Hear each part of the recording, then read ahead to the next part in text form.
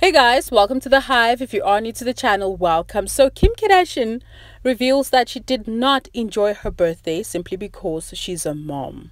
Wow interesting. If you're new to the channel, welcome. Please make sure to subscribe, click on the post notification, and like this video. Now, I see why some people um, might not like Kim Kardashian because this is something that I feel you don't say in the limelight. This is something you share with your family and your friends because why would you say such a thing? So, uh, Kim Kardashian complains celebrating her birthday with her four kids felt like torture.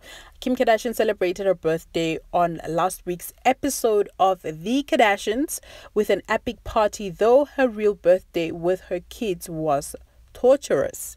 The 43 year old reality star and media mogul, who recently praised cosmetic a dermatologist Simon, was visiting her mother, Kris Jenner, in this week's episode of The Kardashians. And Kris asked, How was your birthday with the kids? Kim answered, I quote, I thought my birthday, um, I would have a day to myself.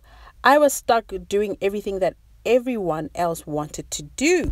So the producer of The Kardashian also asked Kim what a perfect birthday would have been for her.